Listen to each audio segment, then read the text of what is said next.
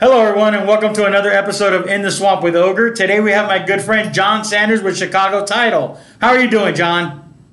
I'm doing great, Ed. Thank you so much for having me. I'm looking forward to this. I appreciate you being on with us. Um, so, John, can you tell us a little bit about how long you've been with Chicago and, and kind of what you what you did before you got to Chicago Title? Yeah, absolutely. So I started with Chicago Title roughly in 2005, um, and ironically enough, they were they were in a bit of a hiring freeze, and so technically they could not hire me back then. Um, so I came on as a consultant, and I worked for roughly the first 12 months of being with Chicago Title, uh, not even technically as an employee, but I was able to generate some business and bring in some business through the door. Um, so they saw some value in me, more so maybe than perhaps some of the other sales team that weren't bringing in opportunities or deals. And so they're like, you know what, we, we can't really let go of a, a guy that's that's generating business for us. So we got to we got to hire this guy because if not, he's gonna he's gonna go somewhere else. And so uh, I was extremely fortunate that uh, the management team at Chicago Title saw some value in me to uh, to hire me, take a shot on a guy that had had never been in sales before. I did not even really know what title insurance was. It was kind of one of those things they throw you out and uh, go get business. But you know, for me, I I was not born and raised, but I, I really was brought up in the service industry. And ultimately, it was as a golf professional. I played golf in high school, tried to play golf professionally, ultimately landed uh, as a club professional in Northern California. And that really laid the foundation for me in, in understanding just service, customer service, whether it be servicing the golfers that show up at the golf course or the members of the club uh, or even you know the other employees that were part of the club that i was working at. It laid this foundation of service and ultimately one thing led to another. I moved to new york and was a golf pro there for five years and then ultimately came out here and was the golf pro at anthem country club and all along the way everything continued to build one brick on top of another on this idea of just being of service to others, helping in whatever way that I could. And so when I title role, although it was an entirely different world, it, it there could not have been more polar opposites as to the two things. What I always had to fall back on was just servicing other people. How can I help? How can I be of service? And so, although they were completely different, they really tied closely into one another just because I was able to identify a need and help people. So you were a golf pro. So let me get, let me go on that for one second. Can you teach anybody how to play golf? Uh, no, I'm not a miracle worker. Uh, I cannot teach anybody how to golf. I can teach most people how to golf, but you know, Ed, I'll tell you, I would tell my students all the time learning how to play golf is very much like in elementary school. Whenever on monday your teacher would pass out the spelling words on monday and give you a test on friday. If you didn't study the words monday through thursday you were going to fail the test on friday. Right. i can go out and teach you the fundamentals of golf all day long. But if you're not going to make time and commit to to actually playing you're not going to be very good and it actually translates over into pretty much anything it, it, that you that you can think about, right? Like it could be parenting, it could be being a better husband, it could be a better cook, it could be anything, better title, sales executive, a better agent, all those things. If we don't invest the time, like we might have an idea that we want to be better at something, but if you don't commit to doing it, you're not going to get better. So right. I can help you if you commit to wanting to help yourself. because I don't play golf. Um, I know a lot of people that do, like yourself, and uh, I know clients that do all the time. They come in town just to play golf, um, but I don't at all. Um, so maybe we have to talk about that at some point and figure out how you can show me a little bit of that. Um, but but I know that you are committed to self mastery, um, and you are always constantly looking for new books, how to better yourself, how to provide more service to us as your clients, and you know, recommend books or recommend events or recommend things. So, what got you on this this trajectory towards self mastery? Well, I got to admit, Ed, I was not a very good student. Um, I was really into sports as a kid growing up. I did not want to study. I did not want to spend time reading, doing all of those things. I did the bare minimum to basically get the grades necessary so that I could stay eligible on my my high school team or college golf or, or whatever the case might be. And I, I can't give you an exact date to it, but call it, you know, 10, 12 years ago, I really got into this idea that like I need to improve myself because if I can improve myself, then I can help others improve themselves um, not in a direct way, but just in a hey, do it for me, and maybe by proxy it will push out to others. And so I started reading a little bit. I'm still not the greatest when it comes to sitting down and reading a book. I love Audible. I love podcasts. I love, I mean, we drive around all the time. And so if I can listen to a book 20 or 30 minutes at a time, or I can listen to a self help podcast uh, and hit, you know, on repeat over and over, um, it has made such an impact in my life, Ed, and I think that you would you would kind of echo some of those sentiments. But um, it's it's not that I remember everything, but as I'm driving around and something just really hits me, I, I make a point to either type it in my phone as a note or or write it down in my notepad because there's just certain things that it might not be 300 pages of a book that impacts me, but there might be a paragraph that just rocks my world and changes everything. And and I can rattle off two or three or four um, quotes, if you will, from books that I just kind of think back on and think that is I need that. It's talking to me. I need that information. So it's it's a work in progress, man.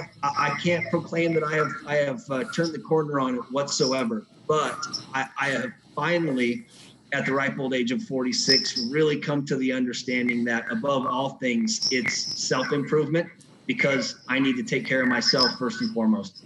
Right and i totally agree. So um, you did it younger than i did because you did it at 46 i'm at 49 I'm, I'm now is when i'm really buying into it. But i start my day off with with you know tony robbins and uh, joel osteen and, and different types of hey you know have faith go forward and and and Steve Harvey. A lot of it is just following your heart and doing the right thing. And I think everything falls into place. And then and then I do follow it up with the with obviously the books and and Audible. I try to listen to that as much as possible. And you're right. It's just if you try to, to in, use the entire book to your future and how am I how can I apply this? It's kind of tough. But catching one or two things and saying, oh, you know what? I, if I implement this, in my business or in my personal life, it'll change everything. Absolutely. I'll tell you something I've really been focused on. A friend of mine put out the other day. Um, it said, uh, uh, perfection is poison. And one of the things that I struggle with most is this idea that I believe everything I do has to be perfect. Um, a sales presentation, the way that I talk with you on this podcast, all of the things that I do I need to be perfect. And in in doing so, I I essentially paralyzed myself from taking action because it's never going to be perfect. And that's something I'm really thinking about right now. Another one is done is better than perfect. Because again, if I have a task to do, whether it's, you know, making 10 sales calls or putting together a presentation done is better than perfect. I can work on it and make it better. But if my goal is perfect, I'm never going to publish it. I'm never going to make that call. And and even if I were to make that call and it didn't go to my satisfaction, I would look at it as though I was a failure because it didn't live up to my expectation. And we're our own worst critics all the time. I can tell you a hundred things that I did wrong versus the five things that I did right. And that self-talk in our brain of all the things we did wrong instead of the few things that maybe we did right. I mean, if you allow it, it can cripple you, it can crush you. Um, so those are just two things right off the bat the last couple weeks that I've really been focusing on. Um, and it's it's not like I have uh, you know daily affirmations, although I do have some things that I meditate on or I think on or I pray on. Um, but recently, it's really been it's it's perfect as poison, done is better than perfect, and just get it done. So um, that's what I'm thinking about right now, man. So, so I went to. Uh, I've seen one of my favorite people that I've seen live is John Cheplak.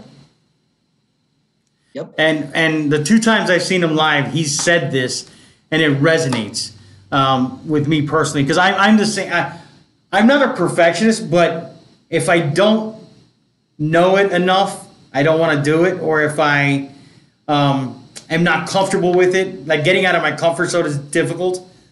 Um, I like doing real estate. I like what I do, and I like to help people, but let, let me stay in my lane. Don't don't do a podcast because you don't know how it's going to turn out. You don't know this. You don't know that. So, and one of one of the things that he says, and he said it at both events, and he says it all the time, is your bad content will outproduce anyone's non-existing content every time. Yep, I actually saw him in San Diego last October at a great event uh, that was put on, and first of all, that dude is intense. Yes. I mean, he's ripped. He is like scary. And he walked right up to the table and we made eye contact for a second. And I thought I was just going to melt. Like that dude could be scary. Uh, by the way, he's a Vegas guy. He lives here. Yeah. Yeah. But, yeah. Uh, but anyway, he scared, he scared me to death. But you're absolutely right. It's, it's, I mean, the content you push out is a whole lot better than the content somebody's thinking about, but never puts out.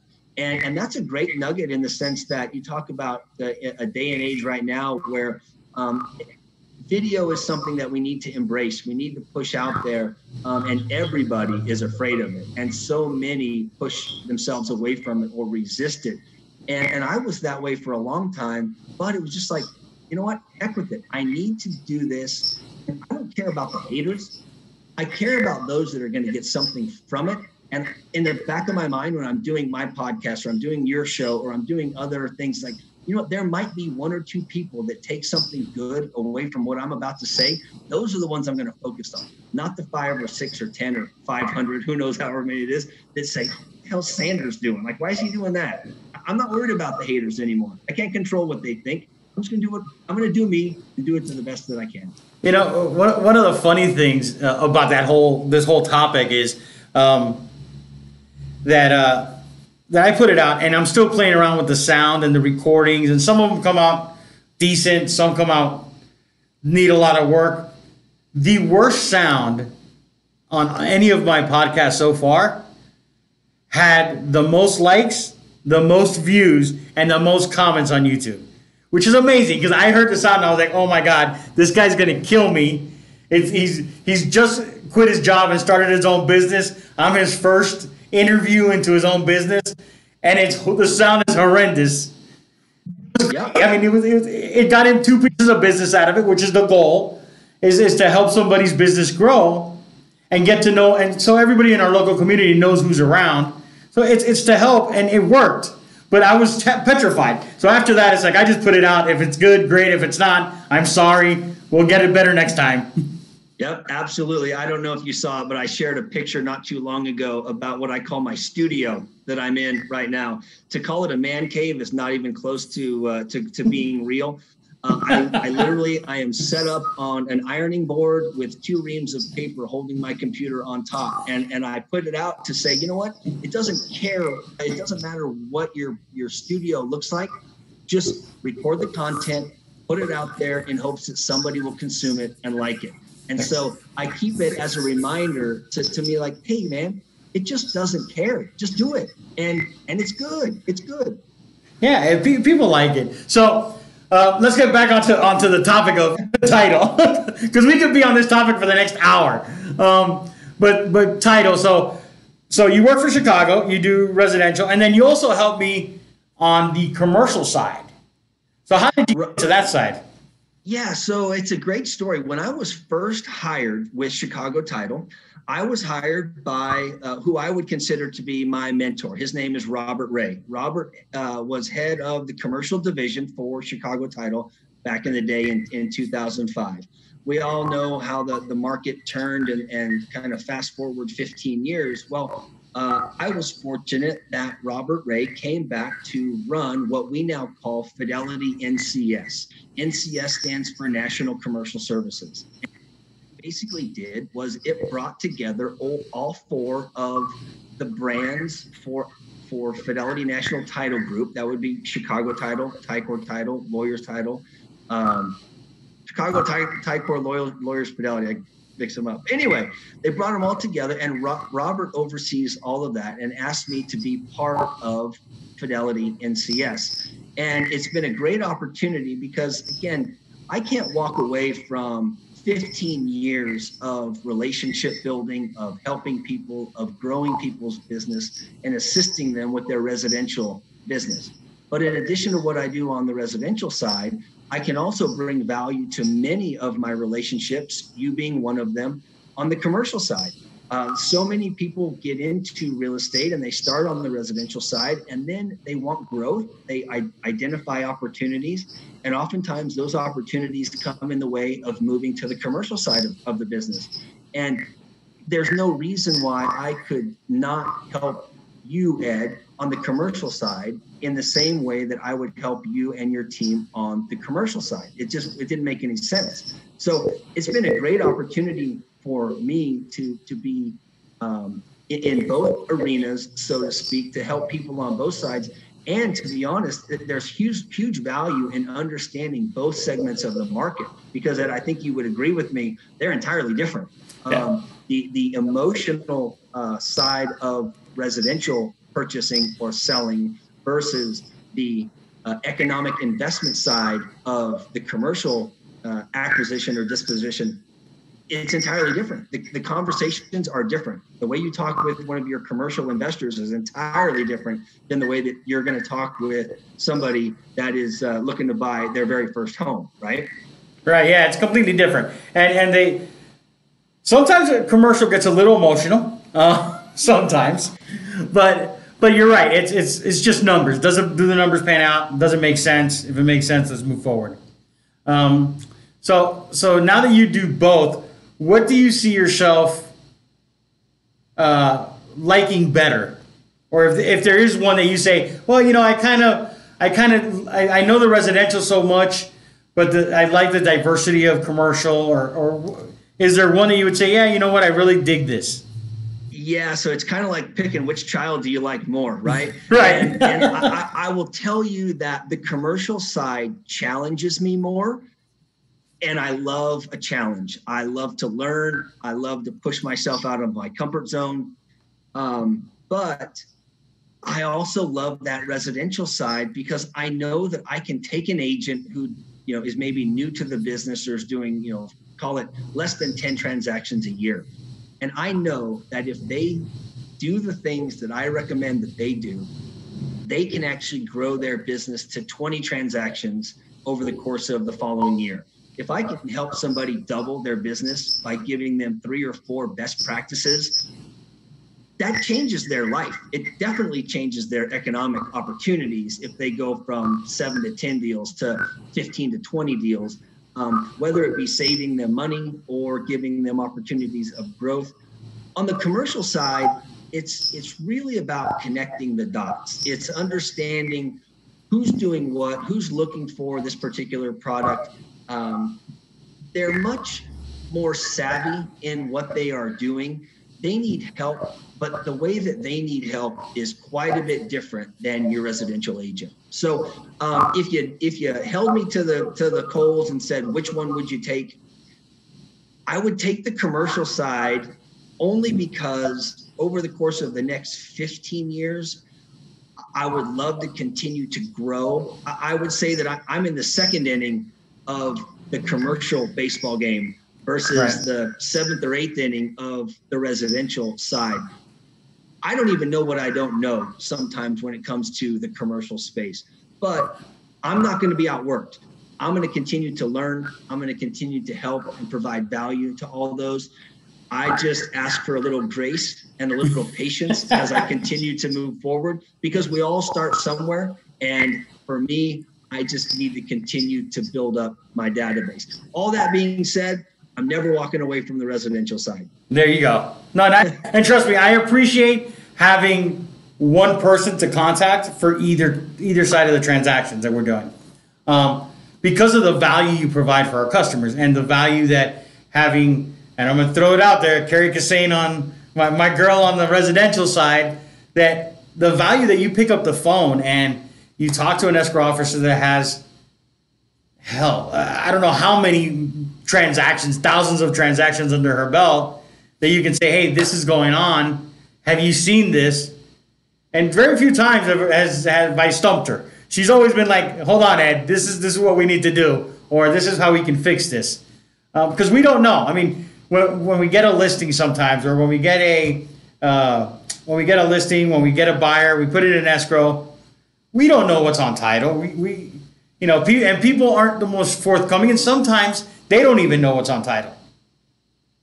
Yeah, I always talk about this idea of experience because you might be the most seasoned real estate agent in Clark County. And let's say that you do 150 transactions in a year. That's pretty solid, right? So a little over 10 transactions per month. Well, Carrie and her team might see 150 transactions a month. And so because of that, they've been through experiences that are going to help you in understanding the nuances of how you're going to be able to overcome the objection that you're facing in order to get the deal done. Your escrow officer and her team, by far and away, not even a close second, are the most essential uh, uh, partner you have in your team. I like to think that I provide value, um, but let's face it, the value is in the escrow officer and her team. And, and I think that we have the best in the business. Um, but but I'll stay neutral here for just a second in the sense that I don't care who you are. If you're in real estate, you need partners that you work with closely that go to bat for you and help you through the entire process. And at the very top of that pyramid, in, in my opinion, is your escrow staff. Because again, you may know it all, but there's going to come a time where you're going to need to lean on somebody that knows a little bit more about you to get that deal to the finish line. And you need them to have your back. And I love that Carrie Kassane and, and her team, uh, they have your back. They have my back more than anything. Um, but uh, but that's but but that's even to take it one step further, Ed. And forgive me if I'm rambling on here, but it, it talks about partnership and teamwork in the real estate space, whether it's uh, commercial or residential, doesn't matter you, your wife run an amazing team. You have transaction coordination, you have support staff, you have other people that are part of your team. Your success is directly correlated with you and how you work. But one layer off of that, it's in direct correlation to the team that you surround yourself with. And that's key. I was talking to somebody today about that, and I told them individual agents don't understand that they have to build a team. And when I say build a team, I'm not saying bring agents on or bring a, an admin on. No, you need to build a team. You need to have an inspector that you trust, that you know. You have to have a, t- a, a title rep like yourself that you can trust and call. You need to have an escrow officer that you know and trust because that is your team. And that's how you build your business is knowing that, okay, if I get, if I get in a jam, I'm not using John down the street that doesn't know anything I'm using, you know, John Sanders, been in the business 15 years, Chicago Title, been in the business forever. Kerry Kassane, who's done thousands of transactions, does 150, 200 a month. So I'm confident that if there's an issue, I'm going to know up front, I'm going to know right away, and then I can get it fixed. Versus, you know, I've, I've had them. I mean, we've done enough transactions in, in this city and in Miami that we've had escrow people tell us, hey, this is going on, I don't know how to fix it.